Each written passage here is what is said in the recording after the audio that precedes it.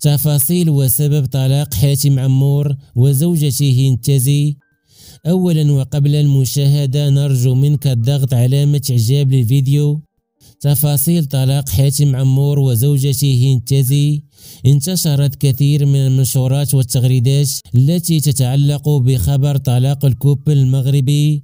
حاتم عمور ومديرة أعماله وزوجته وأم أبنائه هنتزي وهو الذي أكده ظهور آخرة وحيدة في حفل عيد ميلاد ابنتها من دون ظهور زوجها حاتم عمور.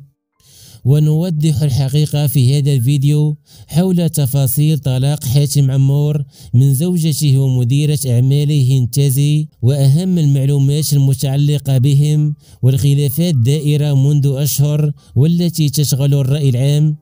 حصل الكثير من الخلافات بين الطرفين خلال الأشهر الأخيرة وكنا نشاهد إلغاء هنتازي متابعة حساب الانستغرام لحاتم عمور.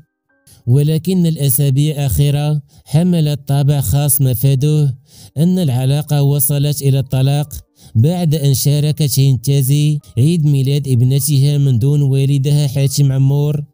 ليؤكد الأخبار منتشرة حول وقوع الطلاق والتي لم يتطرق لها أي من الطرفين إلى الوقت الحالي.